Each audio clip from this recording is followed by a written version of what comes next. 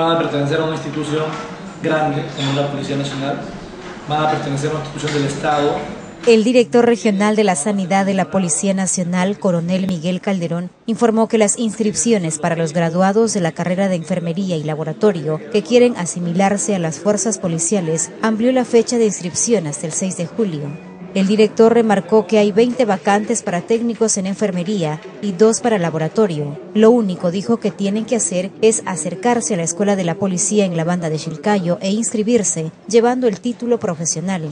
El coronel dijo que tendrán la satisfacción de pertenecer a una institución como la Policía Nacional con todos los beneficios. Recordó que el costo que debe gastar un postulante es aproximadamente 310 soles entre inscripción y examen físico. Todos están exonerados del examen de conocimiento.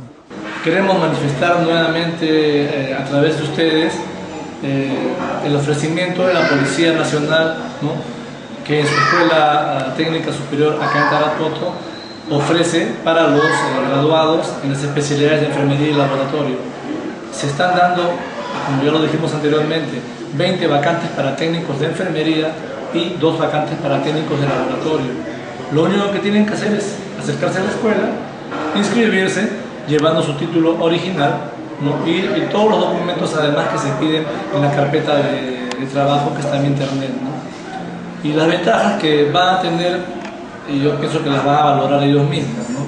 Van a pertenecer a una institución grande como la Policía Nacional, van a pertenecer a una institución del Estado, vienen o van a ser nombrados después que se asimilen.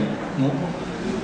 Tienen un sueldo fijo, los beneficios que tiene la policía, los beneficios de cuantas prestaciones de salud, eh, un sinnúmero de ventajas que deben valorarlas, que no las dejen de lado, porque sé que acá hay varios institutos tecnológicos, que capacitan personal de enfermería, capacitan personal de laboratorio. ¿Hasta cuándo? pienso que es una oportunidad. ¿Hasta cuándo se ampliado? Sí, ya la fecha esta vez creo que es definitiva, no va a haber más ampliación, es el 6 de julio, que está próximo a cumplirse. 6 de julio. ¿Solamente uno se ha inscrito en este tiempo?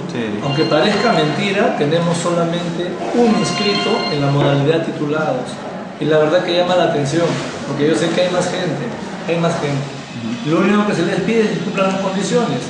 Los únicos límites que se imponen son la talla, ¿no? que está escrito en el, prospecto, eh, la edad, que es 27 años, el 31 de diciembre de este año, y nada más.